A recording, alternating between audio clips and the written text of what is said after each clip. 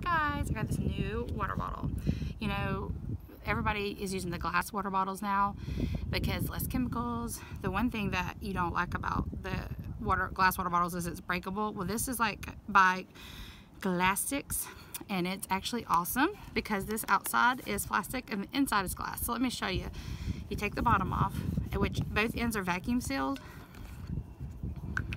And then there's the vacuum seal in there. You take this off, which is your, now you bring out, if I do it right, hold on. okay, let me think. Okay, oh yeah, there we go.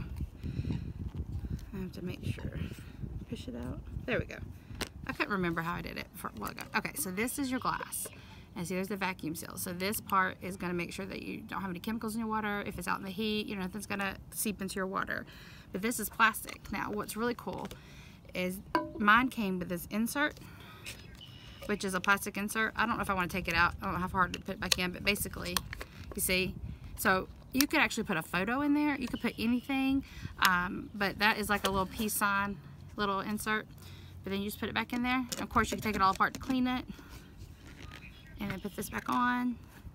But so now if I'm taking it around and I bump the outside, I'm not gonna break my glass. So that's like the good part. And then I do like the top.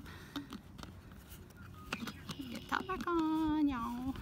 All right, and it has a little button that you just push to open, and unlock it. So that way, if it's locked, and of course it's easy, you push all the way down so you can drink. If you lock it, and then you can't accidentally open it. Because a while ago my son was trying to open it and he couldn't. And it also has a little handle, which I do like, so.